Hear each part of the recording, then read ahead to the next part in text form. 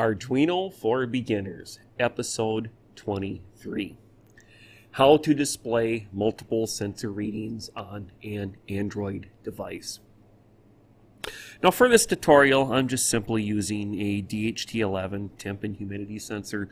So we will only be displaying the temp and humidity, which are two readings, but um, you can display as many readings as you want um, with how I'm going to show you to do this.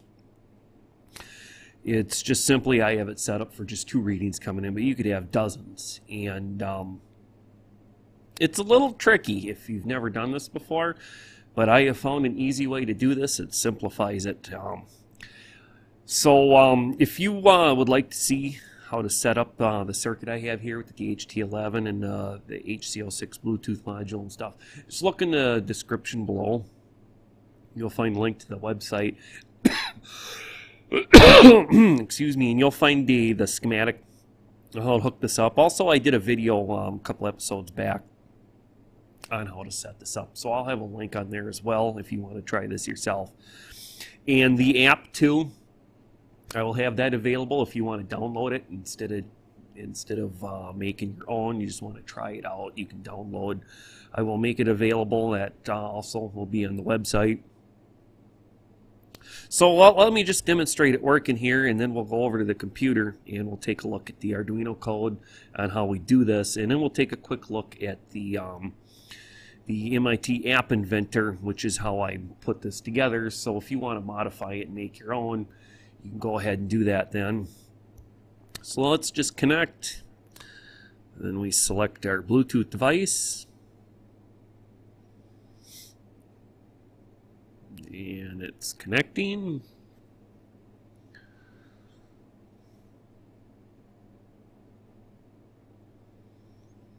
Hopefully it connects up. There we go. Once in a great while, when you have these super close, like I have here, sometimes you get a glitch. Uh, usually, like if you have it at least a foot away, I notice I don't have any problems. But sometimes when they're real super close together like this, I don't. It just maybe it's overpowering or whatever. Sometimes it will glitch. All you can see here is I have a disconnect button. Um, so if we want to close this out, you hit that. And what it does is it disconnects from the HC06 Bluetooth module and then exits the application. And then of course you can see our temperature it is 12 degrees Celsius in here and our humidity is 22%. Now like I said, if you um, maybe had an LDR hooked up on here as well, a uh, light dependent resistor, you could, you know, take readings of how bright it is outside. Maybe you have a, a rain gauge hooked up to it and you want to know how you could show in inches or centimeters how much rain you had. Whatever um, kind of data that you want to display coming from a Arduino to Android, this is going to show you how to do that. Um, if you're just doing one sensor reading or one reading coming in, you wouldn't have to go to all this. Um, it's just when you're doing multiples and we're sending all these readings at once, and then we have to um, set it up so that the uh, the Android app actually can pull them apart and figure out, well, okay, this number is for the, the temperature, this number is humidity, and then however many many readings you have coming in. All right, well, like I said, Look in the description below. You'll find a link. You can get the uh, the schematic for this. Uh, there'll be a link to where to get the HC06s and DHT11s if you're wanting to build this yourself and all that. Plus, um, I'll have a link on there where you can download the app. Otherwise, if um, you want to design this yourself, just follow along. I'll have a actual version of the blocks, and yeah, look, it does that. I'm being super close. It glitched out. Uh, when I have these apart, it generally doesn't do that. So I'm just gonna in that. All right, well, I'm going to um, fire the computer up. And uh, we'll bring up, we'll take a look at the, um, the sketch for the Arduino board first, and then we'll go over and look at the um, MIT App Inventor app and how to put that together. So, all right, I'll catch you at the computer in just a second. Okay, I have the Arduino IDE opened up here. Um, and, well, to start with, um, and most of the, we're just going to skip go through super quick. But um, for using the DHT11, and we're just including the library, setting what pin it's on, and we're starting our serial begin. We're just going to move past that because what we need to um, go over in this is how we are sending the multiple readings to the Android device. And then uh, when we get over to the MIT App Inventor, I'll show you how we're going to take and pull this back apart. So, of course, after we do our, our read of the temperature and humidity, what we're doing is we're doing a serial dot print, and we're printing the value that we read from the temperature. Um, then I'm doing a serial print with a space and a C for Celsius. You don't have to have that. It don't matter. You could actually put the C in the app itself so it's always displayed. But what we have here, the next line, serial dot print, and you want to pick a character that you are not going to be using with anywhere else in the sketch, anywhere. Now what I'm using here, um, above your inner enter key, there's the forward slash, and then if you hold down the shift, it gives you this straight up and down little line thing. It kind of looks like an L, but it's not an L. I am using that character, and that's the divider, because then next what we're doing is we're doing a serial dot print, we're doing humidity, and then um, to end it up, because um, this is the last value, we're doing a percentage, but we're doing a serial dot print line. Now, if you had another value after that, after the humidity you wanted, well, you wouldn't have a print line, you'd have print. And then after, you know, the percentage symbol here in the next line, you do another serial dot print and you'd put this character in.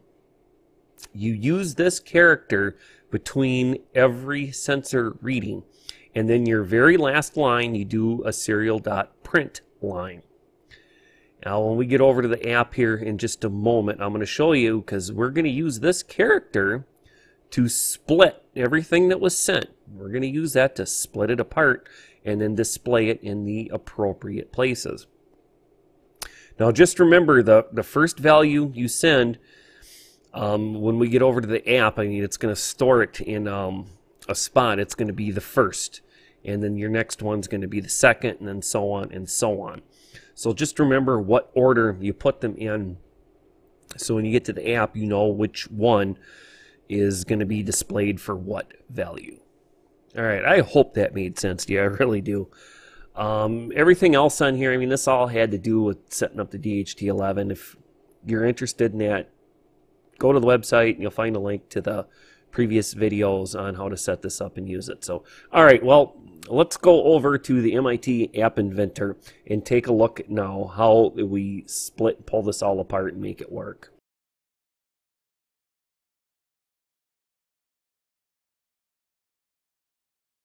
Okay, I have MIT App Inventor opened up here. Now, I'm going to kind of go through this a little quick, is like I did along with the last, um, we are looking at the sketch on how to set this up. Um, primarily, we are focusing on how we're doing the sensor readings. So what I have here is I just have a, a connect, um, it's a label, and I have a disconnect button, and then I have sensor readings down here. It's not a scrollable app, so you can't see the other ones, but they're down there. But I'm just going to skip through all that. If you don't know how to set up the Bluetooth, connect, all that, check out my other videos. I do go through uh, how to do this. Um, just once again, look in the description below. You'll find a link to the website, and I'll make sure on this project's page, I'll put all the information for everything on their links and this and that. So all right, so we're going to just go over to the blocks. And we're just going to skip by all of this. But what we want to look at is this. This is how we are actually bringing these readings in and splitting them apart. What we are doing is we are using a clock. So in your designer, you, got to drag a clock in. Actually, I'll go back and show you. Um, there's the clock right there. It's in. I have this set um, to fire every two seconds and in the uh, Arduino sketch, I have it um, to send the data every five seconds. You want the this to check more often than the data is being sent. Otherwise, you're going to start getting some errors. So just remember that. I found a good refresh, you know, rate um, five seconds for the Arduino sketch and two seconds for the app works good. But you can change that if you want right there. You just click on the clock and change that. So back to the blocks. What we are doing is we are using a uh, global, initializing a global um, variable and making a list. And um, that is how we are pulling the readings in. So what it does when the clock timer fires, it's checking if the Bluetooth is connected. If it's not, it's not going to do this. Otherwise, the app will glitch out. Then if there are bytes available to receive, which means it's greater than zero, and what we're doing is we're setting those those um, this list that we created here. Well, first we're doing the uh, the global variable, and we're calling all that information in that line of information that has the um, the temperature and the Celsius and the uh, humidity and then the percentage sign. We're pulling all that into that variable. Then what we're doing is we are splitting it apart and we are putting it into the global list that we started right here. And right here, split text at, right there, there's that symbol. That is how we are dividing everything.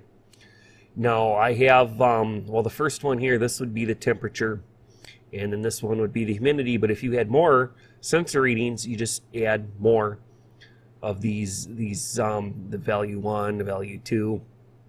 Actually that's um, in the uh, designer here, that's my label. So what we're doing is we're setting the display mm, excuse me, we're setting the display to show that there. And then we're pulling from that list that we made, the global list. Well, the first one is in position one, then the next one's in position two. Then if you had more, well, you'd have a three, four, five. That's why I said you could have as many readings as you want coming in, and it's all sent as one line. And then it pulls in, and when the clock timer fires, it splits it all apart and puts it where it needs to go. Then after that, what we're doing is we're just clearing out the uh, the lists. Um, we're just making the um, the uh, the input global input here. We're setting that there's nothing in it, so we're putting that at you know zero, nada, nothing, and then the global list we're setting that as making it zero, so nothing's in there and actually putting it at the uh, putting it back at the beginning. All right, that's all there is to it. Uh, I hope this made sense to you. Uh, I will have a copy of these blocks on the website, so if you want to take and uh, put this together yourself, um, you'll have to look at it. I'm not going to make the um, the AIA file available. If I, I think if you want to do a modified version of this, it's going to do you much better to actually go through and put this all in yourself because you're going to learn more that way. But uh, if you just want to try this out, the APK, the actual finished app, I will have that on the website. Uh, you can go there and you can download it and you can try this with the DHT 11 sensor and uh, have fun with it. Otherwise, um, up here, what we're doing is we just I'm doing a virtual screen. So once you click the connect, uh, it makes that disappear, and then brings up the disconnect, and then shows all the the labels and all that stuff. So if you're interested more how to do that, uh, just uh, check out my other videos. I actually have one on doing virtual screens. It's called with MIT App Inventor, and uh, it'll go through how all this works. So. All right, well, I hope you found this information useful. If you did, please give me a thumbs up. Um, with that, I think we're just going to wrap this up then. So I hope you have a great day. And remember, have fun building.